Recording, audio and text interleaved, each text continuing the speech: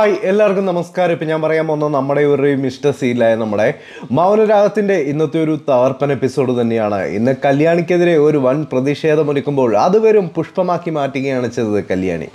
അപ്പോൾ അതെങ്ങനെയെന്ന് നോക്കാം. ഇന്ന് പ്രകാശിനോടും അവിടെ വിക്രത്തോടും പറയുകയാണ്. വിക്രമൻ നിന്റെ മോന്ത ഇതേപോലെ അടിച്ചു പൊട്ടിച്ചിട്ട് നീ ആ കല്യാണി എന്ന് പറയുന്നവളെ ഒന്നും ചെയ്യാതിരുന്നോ? ആ സമയം എനിക്കൊന്നും ചെയ്യാനായിട്ട് പറ്റിയില്ല.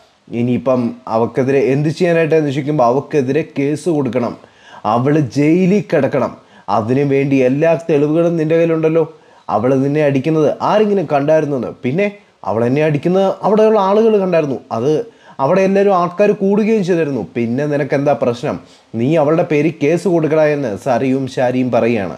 ഇത് കേട്ട് പ്രകാശം പറയുന്നു അല്ല കേസ് കാര്യങ്ങൾ എന്നൊക്കെ പറഞ്ഞ് മുമ്പോട്ട് പോയി കഴിഞ്ഞാൽ ഒത്തിരി പൈസയും കാര്യങ്ങളൊക്കെ ആയാലും പൈസ എന്ത് പൈസ? വക്കീലിന് കൊടുക്കണതും കോടതി ചെലവിലാവുന്നതൊക്കെ അതൊക്കെ ഞങ്ങൾ നോക്കിക്കോളാം. നിങ്ങൾ ആ കാര്യത്തെപ്പറ്റി ആലോചിക്കേണ്ട. എല്ലാ പിന്തുണയുണ്ട്. പിന്നെ എന്നാടാ മോനെ നീ നോക്കാനായിട്ട്? ഇവർ നമ്മളെ സഹായിക്കാമെന്ന് പറഞ്ഞു. എന്നാൽ പിന്നെ കേസ് കൊടുക്കാം.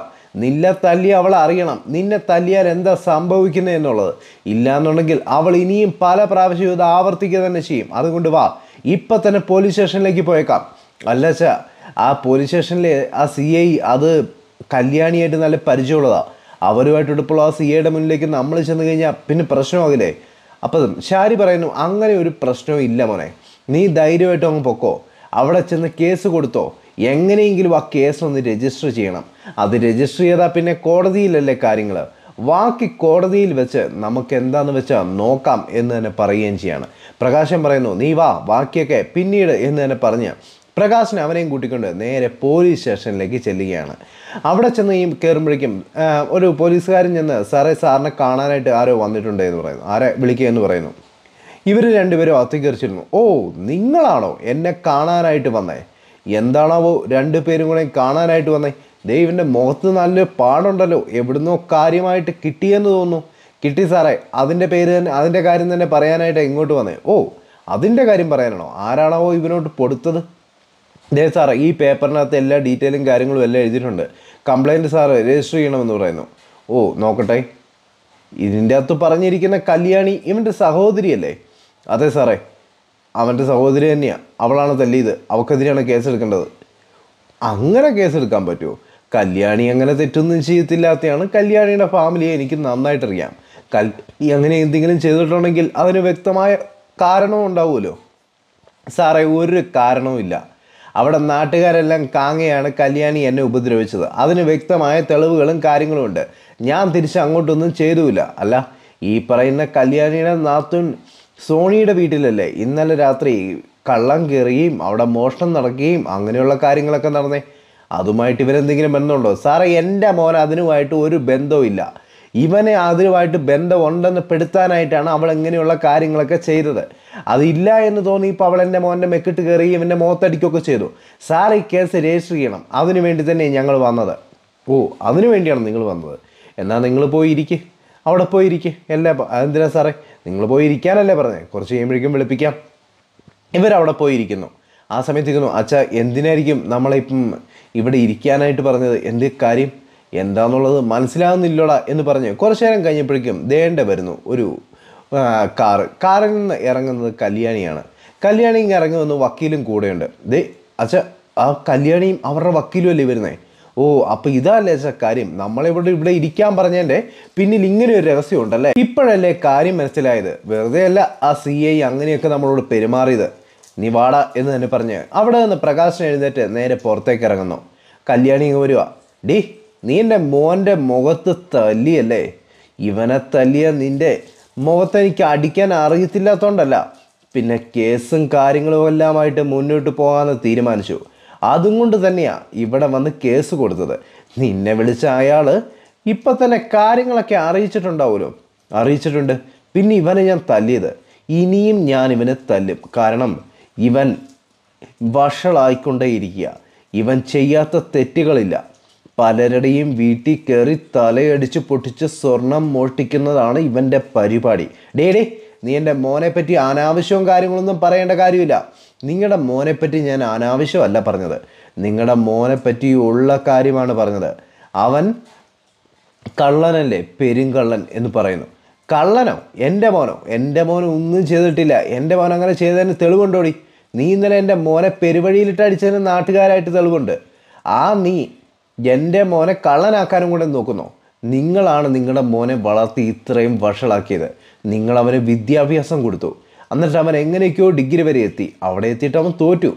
എന്നിട്ടും അവന്റെ എന്റെ അത്രയും പോലും ഇംഗ്ലീഷ് പറയാനായിട്ട് കഴിവുണ്ടോ?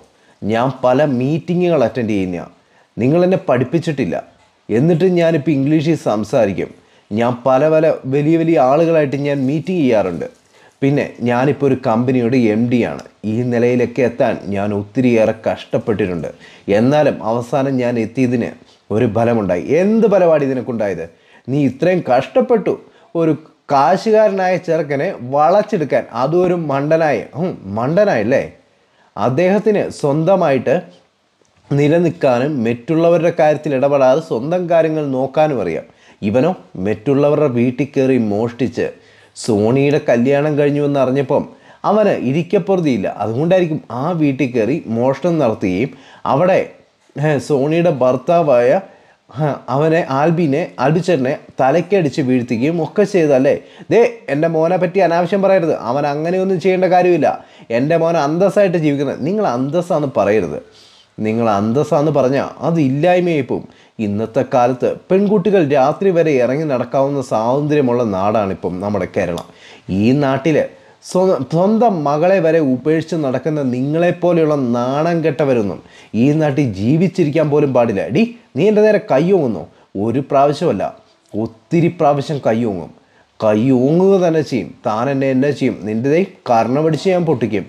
അതിനെനിക്ക് കഴിവില്ല എന്ന് വിചാരിക്കരുത്. നിങ്ങൾക്ക് നിങ്ങളുടെ കയ്യിനി എന്റെ നേരെ പൊങ്ങില്ല. നേരെ പൊങ്ങിയാൽ താൻ വിവരം അറിയും താൻ ഇനി വിവരം അറിയാൻ കിടക്കുന്നതേ ഉള്ളൂ. തന്റെ ഈ മകനെ കൊണ്ട് തനിക്ക് എന്താ ഉണ്ടാക്കാൻ പറ്റിയിട്ടുള്ളത്? ഒന്നും ഉണ്ടാക്കാൻ പറ്റിയിട്ടില്ല. നഷ്ടമല്ലാതെ. എന്നാൽ താൻ പെരുവഴി കിടന്ന അടിയും കൊണ്ട് ഹോസ്പിറ്റലായപ്പോഴും താൻ അറ്റാക്ക് വന്ന് ചവാ കിടന്നപ്പോഴും പൈസ മുടക്കിയത് ഞാനാ. പലിശക്കാരന്റെ കയ്യിൽ നിന്ന് പത്ത് ലക്ഷം രൂപ കടം വാങ്ങി ജീവനൊടുക്കാൻ നിന്നപ്പോഴും സഹായിച്ചത് ഞാൻ മാത്രമായി. ഇല്ലാതെ താൻ ഈ പറയുന്ന തന്റെ ഈ രാജകുമാരനല്ല. മനസ്സിൽ വെച്ച കൊള്ളാം എന്ന് തന്നെ പറഞ്ഞ് അവിടെ നിന്ന് കല്യാണി നേരെ അങ്ങോട്ട് പോവുകയാണ്. ആ സമയത്ത് വക്കീൽ പറയുന്നു ഓ എന്തൊരു കഷ്ടമാ. ഇവനെ പോലെയുള്ളവർക്ക് മക്കളുണ്ടാകാൻ പാടില്ല. ഇവനൊന്നും മക്കളെ ഉണ്ടാകാൻ പാടില്ല എന്ന് തന്നെ പറഞ്ഞ് കല്യാണിയും കൂട്ടിക്കൊണ്ട് പോവുകയാണ്. അതിനുശേഷം പോലീസ് സ്റ്റേഷൻ ചെന്ന് പോലീസുകാരെ അവിടെ എസ് എ കാണുന്നു. സാറേ ആ കല്യാണി ഇപ്പോൾ അവരങ്ങ് പോയതേ ഉള്ളൂ. കണ്ടു കാണുമല്ലോ? ആ ഞാൻ അറിഞ്ഞു സാറേ. കല്യാണി അവനെ തല്ലിയെന്നു. പിന്നെ എങ്ങനെ തല്ലാതിരിക്കും സാറേ? സോണിയുടെ വീട്ടിൽ ആ മോഷണവും കാര്യങ്ങളെല്ലാം ചെയ്തത് അവൻ തന്നെയാണെന്ന് എനിക്ക് ഉറപ്പാണ് ഞാനത് സംസാരിക്കാനായിട്ട് അവന്റെ അടുത്ത് ചെന്നപ്പം അവൻ അതേപോലെ നെറുകെട്ട വർത്തമാനം സാറേ എന്റെ അടുത്ത് പറഞ്ഞേ. ആരാണേന്ന് തല്ലിപ്പോവും അത് ശരിയാണ് താൻ പറയുന്നത്. അവനോട്ട് രണ്ടെണ്ണം പൊട്ടിക്കണമെന്ന് എപ്പോഴും എനിക്കും തോന്നാറുണ്ട്. എന്തായാലും അവർ കേസാക്കിയിട്ടുണ്ട്. പിന്നെ വക്കീലെ അറിയാലോ ഒരു കേസ് രജിസ്റ്റർ ചെയ്താൽ പിന്നെ എനിക്കൊന്നും ചെയ്യാൻ കഴിയില്ല എന്നുള്ളത് എന്തായാലും കോടതിയിലേക്ക് വേണ്ടവരും സാറേ കേസും കാര്യങ്ങളൊക്കെ നിയമത്തിന്റെ വഴിയിൽ തന്നെ നടന്നോട്ടെ. ബാക്കി കാര്യങ്ങളെല്ലാം വേണ്ടതുപോലെ ഞാൻ നോക്കണം ശരി കല്യാണി എന്തെങ്കിലും സഹായങ്ങൾ എന്തെങ്കിലും വേണം? അപ്പോൾ വക്കീൽ ചോദിക്കുന്നു അതെ സാറേ ഇപ്പോൾ ഈ കേസ് നമുക്ക് ജാമ്യം എടുക്കത്തില്ലാത്ത പ്രശ്നമൊന്നുമില്ല. എവിടെ നിന്ന് ഒരു പ്രശ്നമില്ല ധൈര്യമായിട്ടും ജാമ്യം എടുത്ത് നിങ്ങൾക്ക് പോകാം. സ്റ്റേഷൻ ജാമ്യം തന്നെ മതി എന്ന് തന്നെ പറയുകയാണ്. അങ്ങനെ കാര്യങ്ങളും ആയിട്ട് മുന്നോട്ട് പോവുകയും ചെയ്യുന്നു. ഇവിടെ കിരണിന്റെ അടുത്ത് നിന്ന് ഈ കാര്യങ്ങൾ കല്യാണി പറയുമ്പോൾ കിരൺ പറയുന്നു എന്തായാലും അവൻ രണ്ടും കൽപ്പിച്ച അവന്റെ കയ്യിൽ ഇപ്പോൾ തെളിവുകളും കാര്യങ്ങളും ഒന്നും ഇല്ല എന്നുള്ള ഒരു വിശ്വാസമാണ് അവനിപ്പോൾ ഉള്ളത്.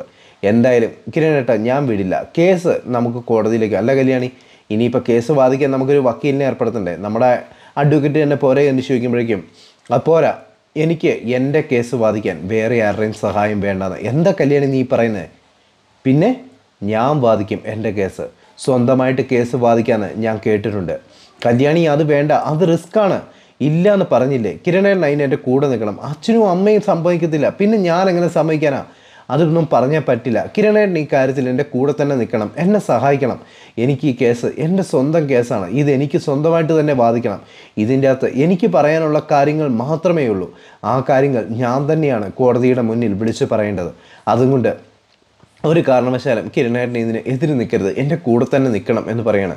കല്യാണി ഞാൻ എന്ന് പറയുമ്പോൾ വേറെ ഒന്നും എന്നോട് മറുത്ത് പറയില്ലേ കിരണേട്ടാ എന്റെ കൂടെ നിൽക്കണേ എന്ന് തന്നെ പറയുന്നു. എന്നാൽ പിന്നെ ബാക്കി കാര്യങ്ങളൊക്കെ പഠിക്കണ്ടേ? സെക്ഷനെ പറ്റി പഠിക്കണ്ടേ? നിയമങ്ങളെ പറ്റി പഠിക്കണ്ടേ? അതിനൊരു വക്കീലിന്റെ സഹായം മാത്രം മതി. ബാക്കിയെല്ലാം ഞാൻ പഠിച്ചെടുത്തോളാം എന്ന് തന്നെ പറയുന്നിടത്ത് ഇന്നത്തെ എപ്പിസോഡിലൂടെ അവസാനിക്കുകയും ചെയ്യുന്നു.